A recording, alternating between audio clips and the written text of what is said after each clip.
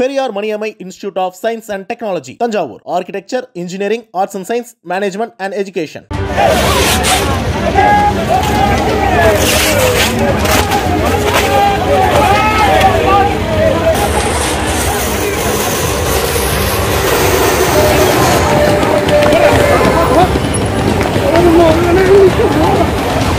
கோவையில் திமுக போஸ்டர்களை பாஜகவினர் கிழித்ததால் காவல்துறையினருடன் தள்ளுமுள்ளு ஏற்பட்டது பரபரப்பை ஏற்படுத்தியுள்ளது.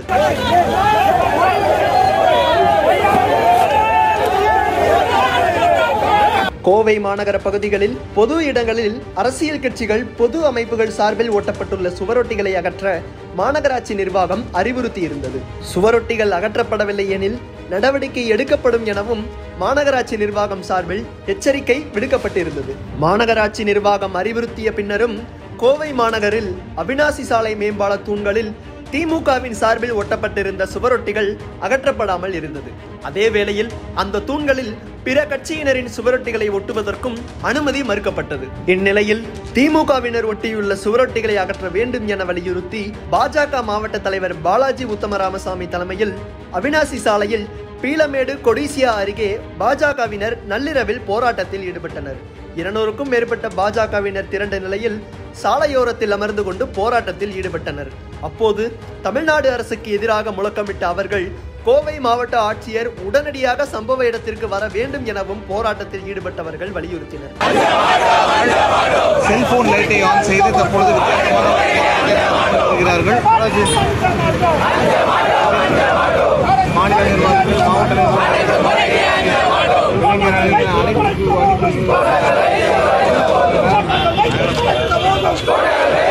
போராட்டத்தில் ஈடுபட்டுள்ள பாஜகவினருடன் போலீசாரும் வருவாய்த்துறையினரும் பேச்சுவார்த்தை நடத்தினர். பேச்சுவார்த்தையில் உடன்பாடு ஏற்படாத நிலையில் மேம்பாலத்தில் ஒட்டப்பட்டுள்ள முதல்வர் ஸ்டாலின் புகைப்படத்துடன் கூடிய திமுக சுவரொட்டிகளை பாஜகவினர் கிழித்து எறிந்தனர்.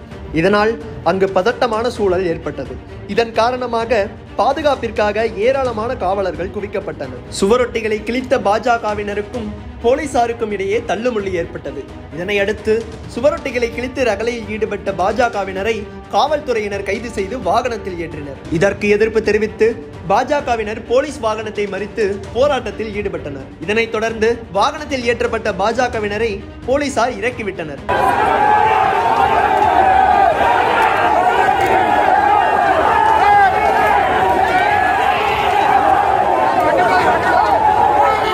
மாவட்ட ஆட்சியர் பேச்சுவார்த்தைக்கு வரும் வரை இடத்தை விட்டு நகரப் போவதில்லை என கூறி பாஜகவினர் போராட்டம் நடத்தினர். பின்னர் வரும் பதினாறாம் தேதிக்குள் அமைதி குழு கூட்டம் நடத்த வேண்டும் எனவும் அதில் பேனர்கள் ஒட்டுவது தொடர்பாக ஒரு நல்ல முடிவு எட்டப்பட வேண்டும் எனவும் பாஜகவினர் கோரிக்கை வைத்துள்ளனர். போஸ்டர் விவகாரத்தில் நல்ல முடிவு ஏற்படவில்லை எனில் மாநில தலைவர் அண்ணாமலை முடிவுக்கு ஏற்ப அடுத்த கட்ட போராட்டம் குறித்து முடிவெடுக்கப்படும் என பாஜகவினர் அறிவித்து அங்கிருந்து கலைந்து சென்றனர். நள்ளிரவில் பாஜகவினர் போராட்டம் நடத்தியதால் கொடிசியா சாலையில் பரபரப்பான சூழ்நிலை நிலவியது. இதன் காரணமாக அப்பகுதியில் போக்குவரத்தும் பாதிக்கப்பட்டது.